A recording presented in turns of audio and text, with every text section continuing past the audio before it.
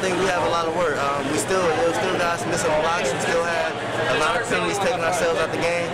We didn't score until the, to the fourth quarter.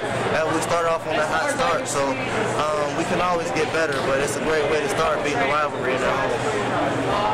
Like you guys owe Denard anything? I mean, he's running out there quite a bit, and, and they were really kind of shutting down that inside trap. I mean, obviously, you guys wanted to pick it up as much as you could. Uh, I think, I think, I think he, we all owe the whole line because, like, once again, he's not doing it on his own. He, he's, he's very gifted, but at the same time, that O line is coming in. They're telling us we want to run the ball, we want to run the ball, and then we run the ball, and they're driving guys five yards off the off the line of scrimmage. So it definitely is a big uh, tribute to the whole line, how how he how well he's well the team is doing. What was being said in the huddle on that final drive? You know you have to get a touchdown. You know this is your last possession. I mean, what are the guys talking about as you're walking down the field? Impose our will. We gotta we gotta uh, show that our will is stronger than their will.